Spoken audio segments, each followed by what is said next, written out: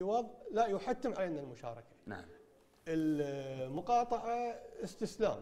أنا كأني رفعت الراية البيضاء خلاص أنا ما أقدر أغير. أنا عندي مطالب ولكن ما حققتها خلاص أنا انسحب من المشهد. هذا الغلط.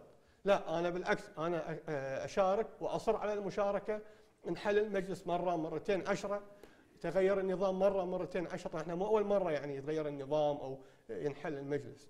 ولكن التذمر اللي قاعد يصير في الشارع هذا التذمر هو اللي عليه علامه عليه علامة استفهام يعني. نعم. لا بالعكس إحنا لازم نشارك على أساس نجبر المرشحين نفسهم أو أو النائب إذا وصل تحت القبة إنه يحقق مطالبنا إحنا كشباب. إن كان في التعليم أو في الصحة طبعا آه، مطالب الشباب هي نقدر نقول أكو مطالب عامة حق الكويت بشكل عام. نعم. وفي طبعا مطالب آه، خاصة في فئة الشباب. نعم. وكل هذه المطالب ما راح ما راح تتحقق إذا أنا انسحبت.